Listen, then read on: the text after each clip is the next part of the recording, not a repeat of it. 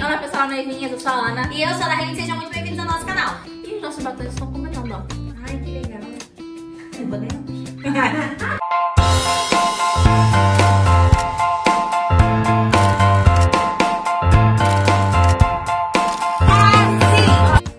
Hoje é apaixonadas por um time de futebol e querem, porque querem, dar um jeito de colocar esse amor, essa paixão no seu casamento de alguma forma especial. Então a gente vai te dar aqui várias ideias de como colocar é, essa menção, né, honrosa ao time que você ama, sem tirar a elegância desse evento.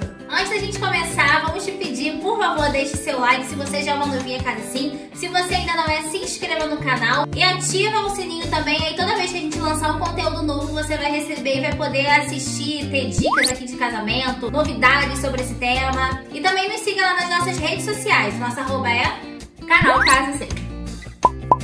A primeira ideia é você colocar essa paixão representada ali na entrada do seu pajem ou da sua daminha. E aí as inspirações são A entrada pode ser com o hino do seu time, as alianças podem ser levadas numa caixa personalizada do seu time, ou então na bandeira, no manto sagrada, né? O torcedor fanático fala.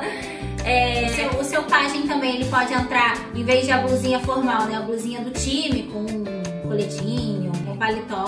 Você só precisa se atentar para reverência na igreja, né? Porque algumas ideias você pode aplicar só na casa de festa, na igreja não. Se a cerimônia for na casa de festa. Talvez até com uma bandeirinha de, do, do time mesmo, né? Ele entrar lá lançando a bandeirinha do time.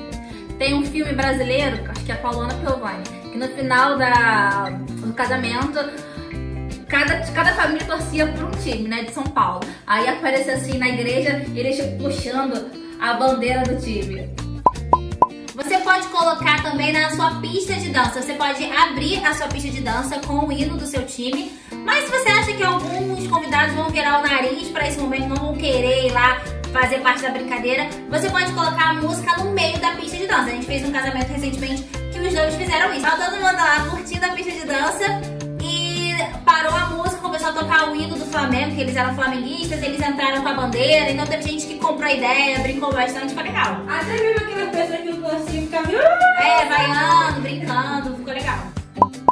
Outra ideia também é personalizar o topo de bolo com o seu time do coração, ou com uma bandeirinha, ou então com a camisa do seu time.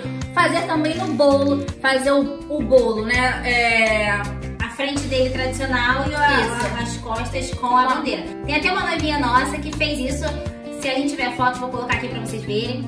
Quando o pessoal chegar, vai se amarrar. Olha que coisa linda que ficou. Ficou muito lindo.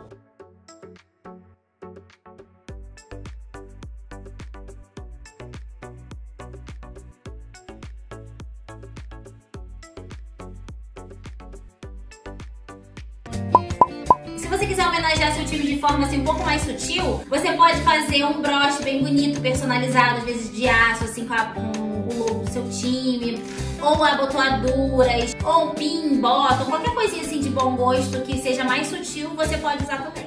Nada de fazer broche, por exemplo, de plástico. É. Fica muito grosseiro e perde, assim, a sofisticação, né? Mas assim, perto aqui da lapela é interessante. Às vezes até só com cores do seu time, precisa nem ser a bandeira, mas se você é botafoguense, por exemplo, preto e branco, não tem branco e preto, fica bonitinho.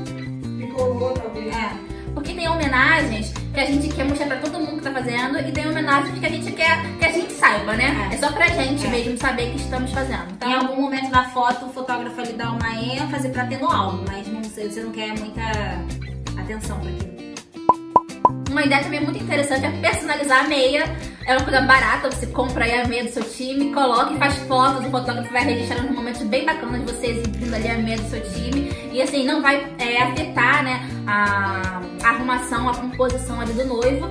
Vai ser uma coisa assim mais sutil, onde em algum momento ele vai mostrar a meia do seu time. Seria muito legal também, por exemplo, se todos os seus padrinhos são no mesmo time, todo mundo mostrar é, a meia junto, ou mesmo sendo de time diferente, se você não se importar, Fazer uma brincadeira, É. né?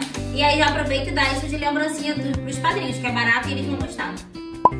Mas se você quiser homenagear assim de forma máxima o seu time, você pode usar a sua hora de entrada da cerimônia para tocar o hino do seu time. Não precisa ser a música cantada tradicional.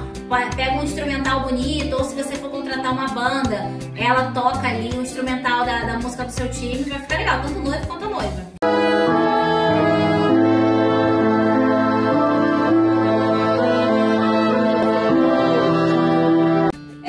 É, se for a noiva, ainda você pode colocar só a marcha nupcial e depois É, a, a... que é uma coisa que tá bem alta. Você começa com a marcha nupcial ali uns 30 segundos, mas quando for entrar mesmo, vai com essa música. Outra ideia também muito interessante é o noivo, em algum momento, tirar fotos abrindo o paletó e tá ali, adivinha, a camisa do time do coração. E aí você pode expandir essa ideia pro pai do noivo, pro sogro, pros padrinhos. Se a mesma ideia da meia, só que seria com a camisa, né? É, todos os padrinhos, o pai, o sogro abrindo assim, mostrando o time do coração, fica muito legal.